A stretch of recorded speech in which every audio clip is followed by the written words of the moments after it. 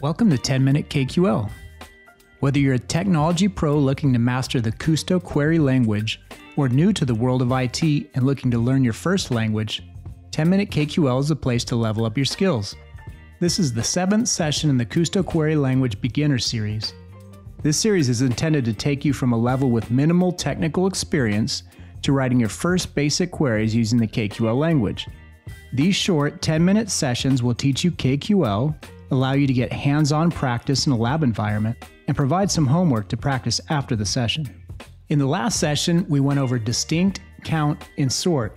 In today's session, we'll introduce the project operator, start working with numbers, and show how to access a free log analytics workspace demo environment to practice your queries.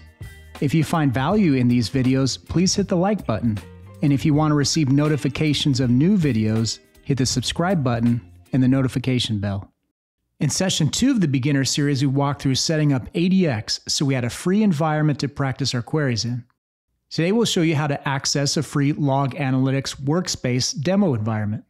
Periodically, we'll show different Microsoft user interfaces that interact with KQL so you can get used to working with different data sets, different user interfaces, and get exposure to solving different problem sets using your KQL skills.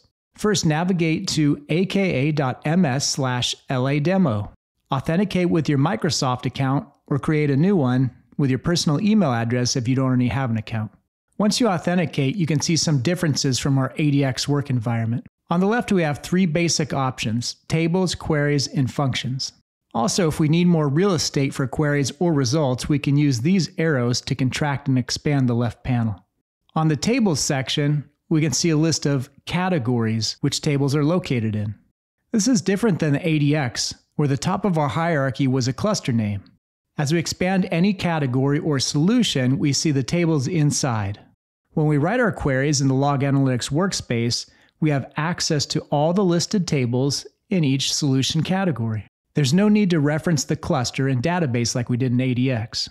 If we expand Azure Monitor for VMs, we see six table options.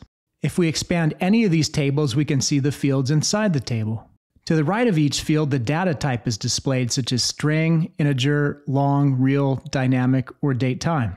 To the left is a symbol that represents each data type for a quick visual cue.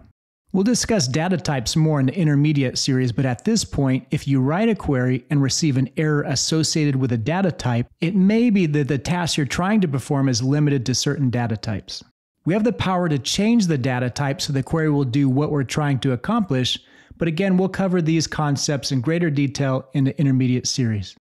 Let's start out by taking a sample of the VM computer table to see what kind of data it contains. As we scroll through all the fields, we see that this table provides information on virtual machines in our environment. It can be a little hard to make sense of all the information because there's so many fields. That's where the project operator can help. Project only displays the fields of interest to us. In this example, we're only interested in seeing five fields time generated, host name, operating system family, CPUs, and CPU speed. If we just want to see these five fields in our results and nothing else, then we can type project in all lowercase letters, followed by the names of the fields we want to see displayed. Remember to use the proper spacing and capitalization, and to place a comment between the fields. As we run the query, we can see that all the other fields that were not of interest to us are taken out of the results. Generally, project is used towards the end of the query as we finalize the information we're interested in seeing and worry more about how it's presented. If we want to use where statements to filter, we would generally place those before the project statement. In this example, we only want to see VMs with Windows operating system. In the output dataset, we have two columns that display numbers, so let's talk about how to filter numbers. We can use comparison operators. If we wanted to only see VMs with a CPU value of 4, we can type in the double equals comparison operator to get that exact result.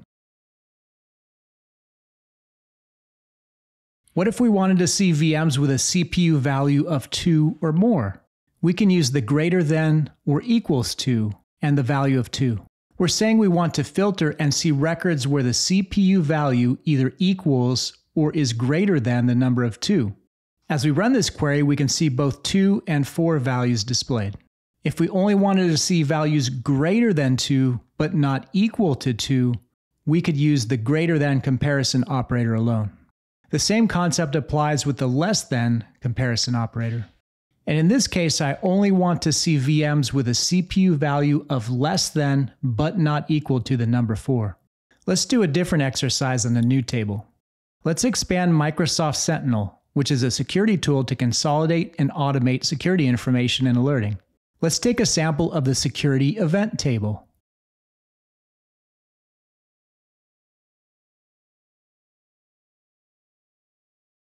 As we look at the fields and the data sample, we can see again that there's a lot of information present. We could use the project operators to select just the fields of interest and remove the rest of the fields so we can begin to filter our query. Another option is to just move and consolidate the fields of interest, but still leave the other fields in case we needed to reference some of the information on occasion. The project reorder operator is helpful in this situation. In this example, we have three fields of interest the activity field, the process field, and the account type field. When we type in project reorder in all lowercase, followed by the three fields of interest, and we run the query, we see that our three fields are moved all the way on the left side of the results, but the rest of the results are still present in case we need to reference other lines on occasion. Later, if we find an additional field of interest, we can simply add it to the project reorder line. Also, when we use the project operators, we can change the order of the displayed columns simply by changing the order in our query.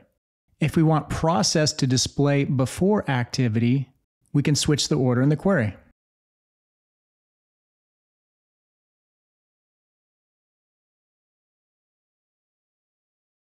We can also easily rename fields by using the equal sign. In the next example, let's use project for our three fields of interest, but let's change a field name so it makes more sense.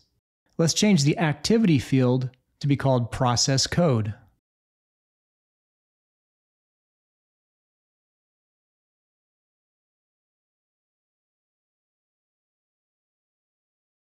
Let's do one more exercise with a new table. Let's work with a VM connection table. As we take a sample and examine the dataset, we see the network connection information for VMs in our environment. In this query, we want to see the remote IPs along with the remote country for all destination ports of 443. Sometimes when we answer a question using KQL, it can lead to additional questions. In this case, we see a variety of countries, but now we want to know all the unique countries in a list. We can go back to our previous lesson and use distinct as we comment out the project line and run the query.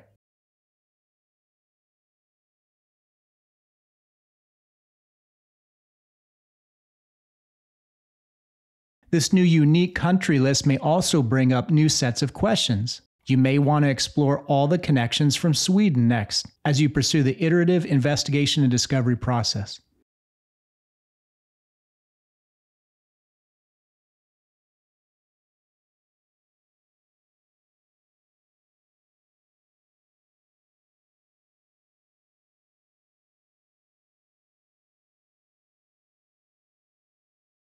For this week's homework assignment, let's use the new Log Analytics Workspace demo environment and focus on the usage table. Write a query that shows the records with a quantity field greater than or equal to 10.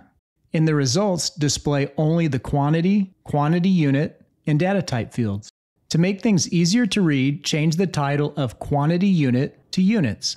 Post your query in the comments section of the video and take a look at how others wrote their queries.